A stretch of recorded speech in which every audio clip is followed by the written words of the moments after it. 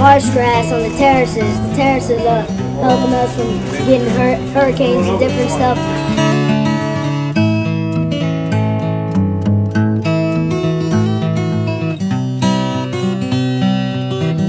These terraces uh, help uh, stop the wind and water erosion in the marsh, build up the marsh.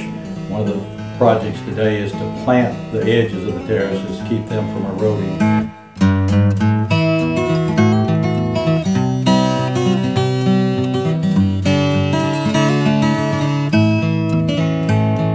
Never had them, I would say no, there wouldn't be an environment for alligators.